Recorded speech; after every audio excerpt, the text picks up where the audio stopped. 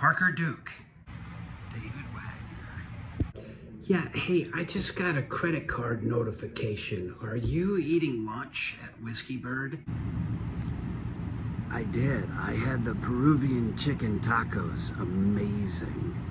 Uh, listen, I so appreciate it. I was telling the entire staff there how good you are to me. Hey, hey, hey, hey, stop. Stop. That stuff adds up. You're spending my money. David, David, David. I'm a writer. You know how hard it is for artists to grasp the concept of money. You're a pen name. You're imaginary. You're nom de plume. I'm French? You don't exist. And you're not selling enough books to be living like you're living. Um, uh, Amazon five star rating, uh, laughing and crying. I love books that bounce between multiple storylines, and this is an excellent example. One story, a wild, zany, hilarious ride, and the other story, a heartfelt look at our core values through the eyes of a young boy. Some parts Christopher Moore, some. Why are you reading me a review from Amazon? Okay, David. I've actually been dreading telling you this. I have some very bad news for you. Yes?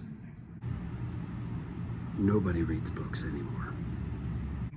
I know. That's why I called you. I recorded it so everybody can listen to it instead.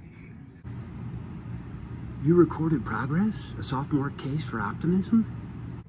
Yep, you did. It's on Spotify, it's on Apple Podcasts, it's on Google Podcasts, it's on that RSS.com.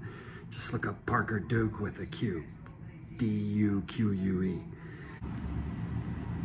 I get to tell people I recorded it. Why are you laughing? Because you didn't do that good of a job and you're talking into a banana. Don't sweat it. I've talked to some people and they actually like the sound of your voice, which is a head scratcher. Well, I mean, maybe people will listen to my book, Progress, A Sophomore Case for Optimism by Parker Duque. Maybe. I will tell people to tell their friends if they like it. Um, could I have your Amex, please?